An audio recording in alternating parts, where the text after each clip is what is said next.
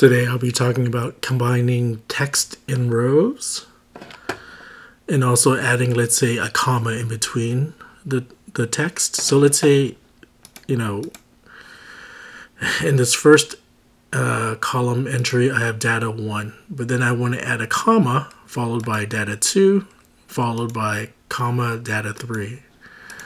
To do that, I would first put equal because it's sort of like a formula. And I'm going to choose the first uh, cell entry, which is A1. So that'll get me the text from A1. But now, as I mentioned, I said I want to add, uh, what do you call it? The symbol uh, comma right between what the next entry is going to be. So what you'll use is the ampersand.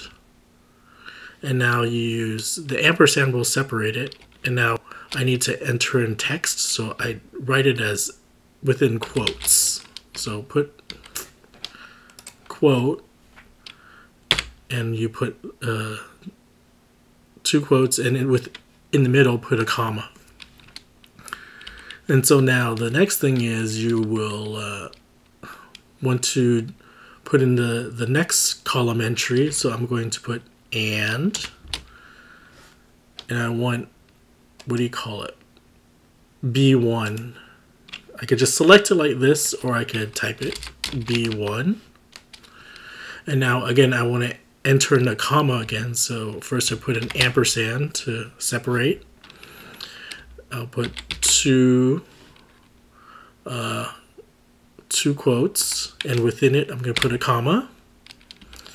Finally, put another ampersand to separate that that text. And finally, I'll need the last column entry, which is C1. Again, you can move the mouse over and just select it. And so you can see the formula is equal to A1, the first entry, and within double quotes, comma, and, then B1, and you do the rest. And once you press enter, you can see now it's comma delimited once it's uh, once you have that formula and you want to do the rest, you can copy Control C. I'm pressing uh, Shift and pressing the down arrow, Shift and the down arrow, and then pressing Control V. And that's it. Now I have everything combined from each column into one uh, cell entry. Hopefully that's what you wanted. Um, and then you can always reverse this if you wanted to. I'm going to go select the text and see if I can go to text to columns. Next, and comma. Didn't work, but me control Z because we have formula. Uh, maybe if I did something else, but that that's a besides the point. The whole point was me showing how I can combine data from different columns to have one cell entry. So I'm just combining three cells into one, but I'm making it comma delimited. And that's how I did it with this formula. And you can see for the second entry, it's just A2 equal to A2 and quote comma, quote, and B2s.